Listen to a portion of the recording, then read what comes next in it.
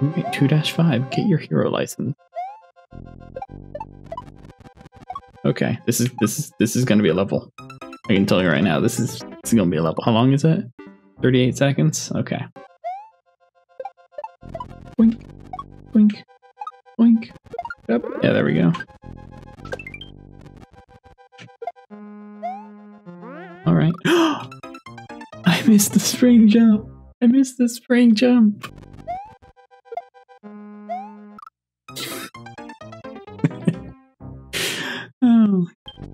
There we go. Uh oh. Hmm, that was a rough uh, situation to get ourselves out of. Pick up the spring, drop the spring into the lava again. So one thing that uh, I think is is getting me here is I'm not running as far to the right when throwing the spring as I should be doing because I'm a little bit afraid of that icicle. So I see this icicle right here, and I don't want to run towards it fast to th throw the spring, throw the spring with the speed I'm supposed to be throwing the spring. I'm a little bit afraid of that icicle. And stuff like that comes up a lot in life. You know, you you're a little bit hesitant to do something because there's something that scares you.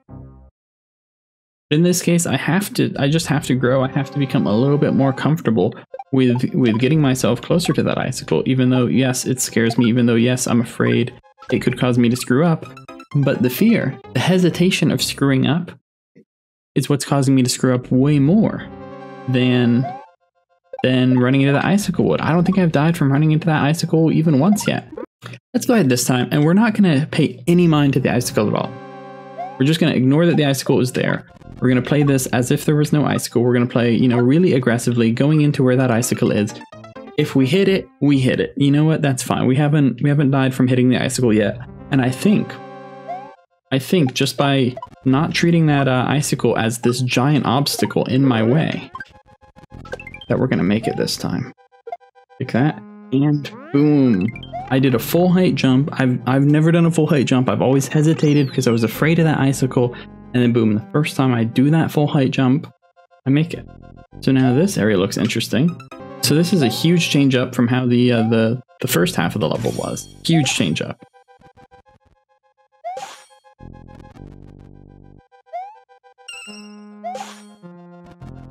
I haven't found any red coins yet.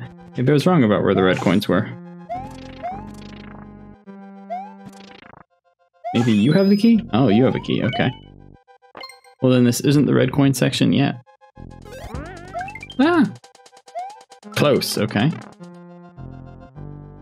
You're very close. Okay, here's the red coins.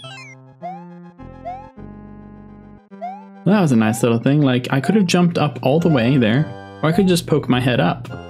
Now, once I've jumped up all the way, I'm stuck up here and I have to get over this guy, and this could be a little bit of a difficult obstacle to some people. So a great thing is I was able to get that red coin just by poking my head up a little bit. Always be looking for creative ways to solve your problem. Because if you find a creative solution to a problem, maybe that saves you from having to do something a little bit more difficult later on.